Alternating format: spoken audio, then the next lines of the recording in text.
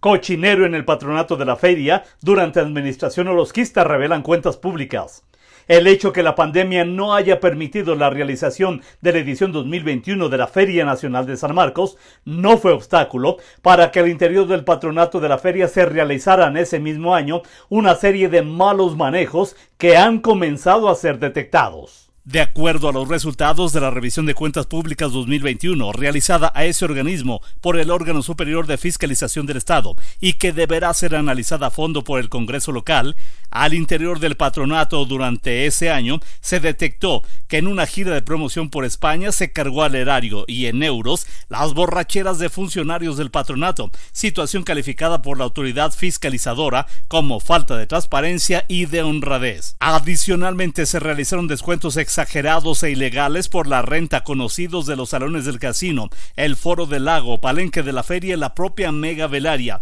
violentando todas las políticas de descuento aprobadas. Se contrató de manera fantasma a la empresa TEV Entretenimiento para realizar acciones de promoción de la Feria 2022 en la ciudad de Sevilla, España, y de las cuales solo existe el pago, pero no documentos que comprueben los servicios prestados. También se detectó la contratación de proveedores para la elaboración de stands para el Congreso Nacional Charro sin que se presentara requisición ni orden de compra. No existió tampoco estudio de mercado ni procedimiento correspondiente a la adjudicación directa, así como tampoco evidencia de los trabajos realizados existió la renta de una bodega propiedad del proveedor Cecilia Saucedo Ruiz para guardar los carros alegóricos no utilizados en 2020 y 2021. De esa renta no se presenta el contrato ni justificación de la erogación. Otra bodega en la calle Matamoros con pagos a una persona llamada Luis Alberto González González tampoco presenta contrato ni justificación.